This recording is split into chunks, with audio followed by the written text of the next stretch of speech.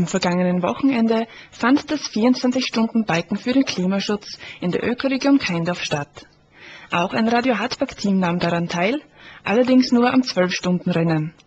Aber wie ist es eigentlich, 24 Stunden lang zu fahren, unter anderem auch in der Nacht? Dazu befragte ich einen Teilnehmer des 24-Stunden-Rennteams der Firma Stoh aus Lannach in der Weststeiermark. Ich habe eine gute Beleistung dabei gehabt und damit hat es super funktioniert im Gegensatz zum vorigen Jahr. Ist die Orientierung in der Nacht ein Problem? Orientierung hat passt, die Strecken kenne ich gut und damit hat alles Sinn. Und wie fühlt man sich nach einer Rennnacht? Ja, etwas geschlaucht, aber nach voller Motivation, muss man sagen.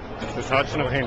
Ein ganz besonderer Gast am Renntag am Samstag war der Radrennprofi Peter Luttenberger, der zusammen mit seiner Lebensgefährtin das Radio Hartberg-Team unterstützt hat.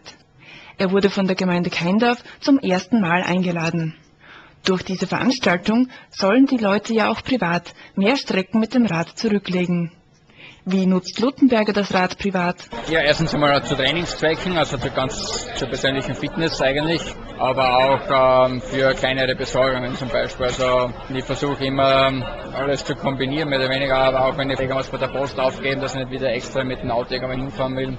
Man kann sehr viel mit dem Rad machen und äh, trägt zur persönlichen Lebensqualität und auch zum, zum Schutz der Umwelt bei. Und die zahlreichen Teilnehmer, wie nutzen diese das Fahrrad?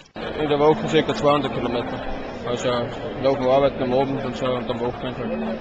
Ich habe das Glück, ich kann mit dem Fahrrad zur Arbeit fahren. Ja, ich tue Mountainbiken. Nur hobbymäßig. Unter den Teilnehmern auch Gerald Meyer, der Bürgermeister von Ebersdorf. Er unterstützt in diesem Jahr das Ebersdorfer Team beim Rennen.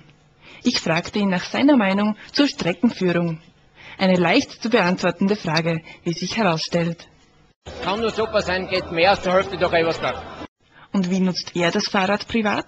Eigentlich mehr als früher.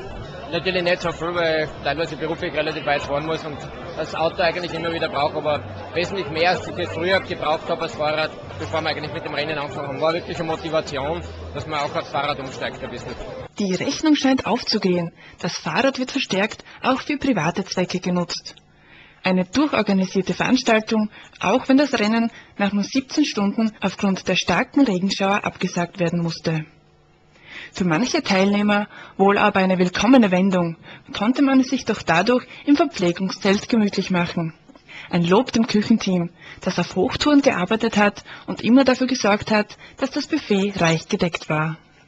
Radio Hartberg dankt auf diesem Weg unseren Teamsponsoren, der Bradelalm in Wenigzell, dem Umweltkompetenzzentrum Schäffern, dem Burgfest auf Burg Talberg, dem Seesalettel am Stubenbergsee und der Werbeagentur POS in Hartberg.